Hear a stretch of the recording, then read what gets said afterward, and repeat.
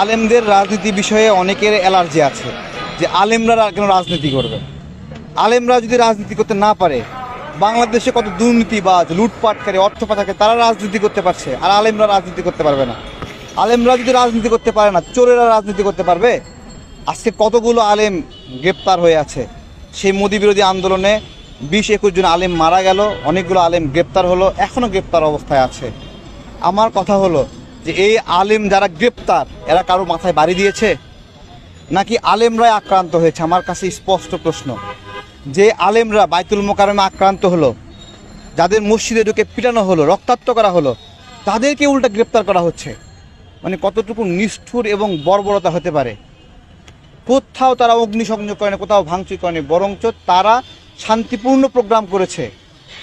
এরা তো বাংলাদেশকে আফগান দেখতে চায়নি। বাংলাদেশকে তো বলেনি পাকিস্তান করবে। এরা বাংলাদেশকে, বাংলাদেশই দেখতে চায়, বাংলাদেশকে ভালোবাসে। ভালোবেসে তারা বলেছে যে ভারতীয় আগ্রাসন আমরা দেখতে চাই না। এই একটা সমস্যা, যে ভারতীয় আগ্রাসন।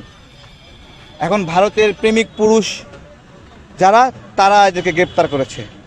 আজকে আলেমদের যারা বাহিরে আছেন, আপনাদের কাছে প্রশ্ন যে যারা ভিতরে আছে, কেন ভিতরে আছে? এবং আপনি বাহিরে কেন? আপনিও যেই কালিমা নিজের মনে ধারণ করেছেন, সেও সেই কালেমা ধারণ করেছে। তো আপনার কালেমা বাহিরে রাখল আপনাকে, আর তার কালেমা তাকে ভিতরে নিয়ে গেল। এইটা কেমন হচ্ছে? আপনার নিজেদের কাছে প্রশ্ন করেন যে আপনারা কেন বাহিরে? তারা কেন জেলখানায়? আজকে চুপ থাকছি তো আমরা, চুপ থাকেন আপনারা। আজ না হয় কাল ঠিকই বুঝবেন যখন আপনার উপরে এই দমন নিপীড়ন আসবে।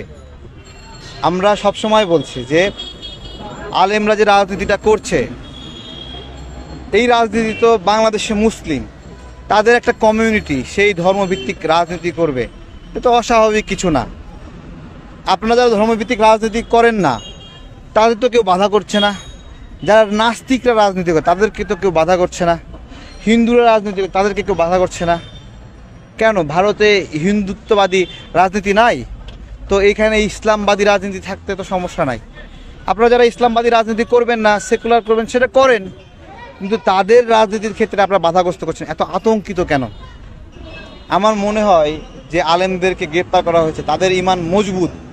এটাই তাদের অপরাধ। যাদের মজবুত না, তারা গ্রেপ্তার হয়নি। তারা আরামে আছে, মাহফিল করছে শীতকালে। সুন্দর সুন্দর মাহফিল করছে, হেলিকপ্টার করে যাচ্ছে, ঘুরছে। তো আমাদের যদি বোধোদয় না হয়, তাহলে সমস্যা। আর যে মুচলেখা নিয়ে বের হচ্ছে, আপনার হলো, এইটাকে আমি আপনার হলো ভাবতে নেগেটিভ লাগে যে মুচলেখা দিয়ে রাষ্ট্রের কাছে বের হচ্ছে, যে রাজনীতি করবে না হ্যাঁ বা সরকারের প্রতি অনুমোদন থাকবে। এটা আমার কাছে প্রথমে নেগেটিভ লাগছিল, যে তারা সরকারের কাছে নথি স্বীকার করে কি বের হচ্ছে।